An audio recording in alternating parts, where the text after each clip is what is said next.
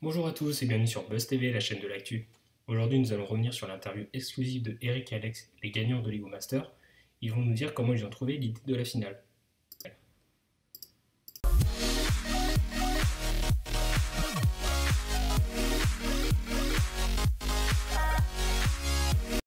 N'hésitez pas à liker la vidéo et à vous abonner. Eric et Alexandre, les métalleux suisses, ont remporté la deuxième saison de Lego Master. Le sympathique duo revient sur son beau parcours. Au terme d'une finale de 25 heures, ce sont Eric et Alexandre qui se sont imposés dans l'ultime épreuve de cette deuxième saison de Lego Master. En remportant notamment les voix des deux jurys, une victoire assez évidente au vu de leur parcours sans faute.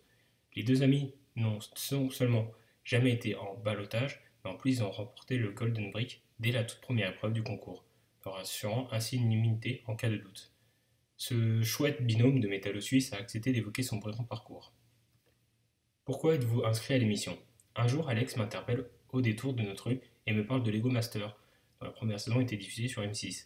Il m'explique que c'est un top chef, mais avec des Lego, et me dit l'année prochaine, on y va. Je lui dis oui, cause toujours, on ira. J'ai envoyé notre candidature sans aucun espoir. Pourquoi avez-vous utilisé votre Golden Brick si tôt dans l'émission?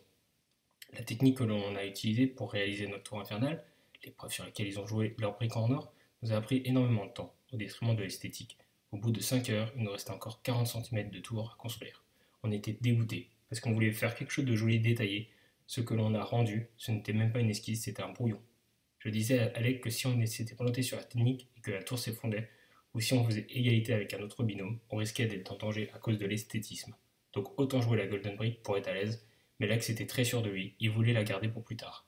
Au final, on l'a joué et la tour a validé le niveau 10, le plus élevé. Comment avez-vous réagi en apprenant que le thème de la finale était libre? Alex répond Ce n'était pas forcément une grande surprise. On s'y attendait un peu, au vu de la première saison, de ce qui se passe dans les autres pays. Mais sur le moment, on a eu énormément de peine à trouver la bonne idée. Eric dit À partir du moment où on l'a posté, on s'est demandé ce qu'on ferait si on arrivait en finale. On s'est dit qu'on verrait, verrait, que l'on trouverait bien une bonne idée, que l'on savait que l'on voulait quelque chose de mécanisé, mais aussi joli, harmonieux, un peu drôle. Mais on n'avait aucune idée. Alex est en train de mourir de l'intérieur parce que rien ne le faisait tilt.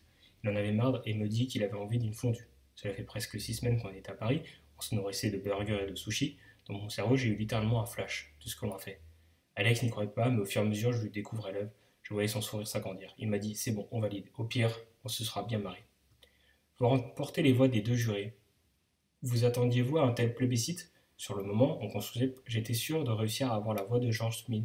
J'espérais avoir suffisamment de public et des autres concurrents pour peut-être gagner, mais sans plus.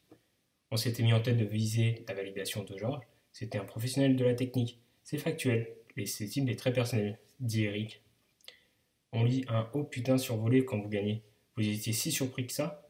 Eric répond. Dès le début de l'émission, on s'est demandé si la production pouvait faire gagner un binôme étranger, ou s'il favorisait plutôt les Français. Quand on a entendu nos prénoms, je me suis dit, oh les cons, ils l'ont fait. Qu'est-ce qui a été le plus difficile durant la saison Eric? La première épreuve, car il y a tellement à découvrir, les caméras, les interviews, trouver notre propre rythme, on se met beaucoup la pression. On se demande si, on va être capable et surtout si on est légitime ou si on va passer pour les deux Français pignons qui vont se faire éliminer en premier. Avez-vous eu des surprises en regardant l'émission?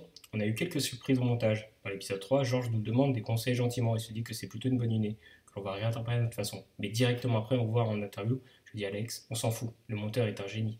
Je suis même pas sûr qu'on l'ait dit au sujet de ce passage-là. Quels sont les retours que vous avez eus? Tout le monde est extrêmement bienveillant. Il nous soutient à 100%.